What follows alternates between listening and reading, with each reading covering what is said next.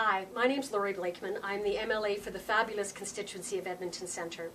And today I want to talk to you, my constituents, uh, about um, protection of personal information. So bits of our personal information is collected and kept in electronic databases all the time. Uh, your grocery store loyalty card knows what kind of soap you buy. Your car insurance knows how many kilometers you put on your car last year. So um, this kind of thing goes on all the time. The problem is how much information is collected and um, what it's used for and who else uh, this information is shared with.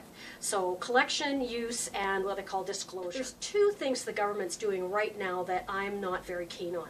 The first is the Talon program, and the second is uh, what's currently called Bill 8, but it's the Missing Persons Act. Right now, I'm going to talk about Talon, uh, the police database that falls underneath the Solicitor General.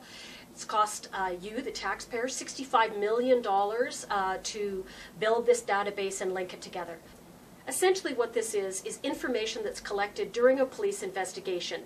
What they used to put in their little book that they carried around, but that's now all in an electronic form.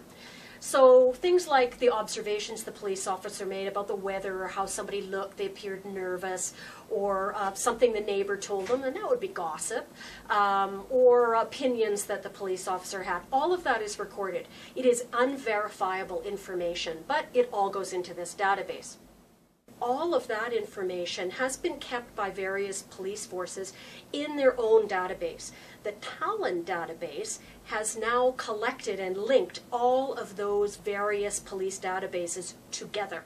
All of a sudden, information that was collected in Red Deer is now accessible by a law enforcement officer in Grande Prairie and all the way across the province. So your personal information, which you don't know they have about you, and you don't know what it says, and there's no way for you to correct it, is now out there in these police databases across the province. I think that's a problem. And knowing how these things go, you could be a 15 year old that got a ticket once for stunting, as my younger brother did, on his BMX bike, and 10 years later be picked up driving your car home to Calgary and get pulled over and it says you've had a ticket for stunting. It doesn't say you were stunting on a BMX bike, it says you were stunting. And you're going to get treated differently by that police officer because he's going to believe something different than what actually happened. And that's where the problem is, is people's assumption about what, what that information means and the fact that it's not verified.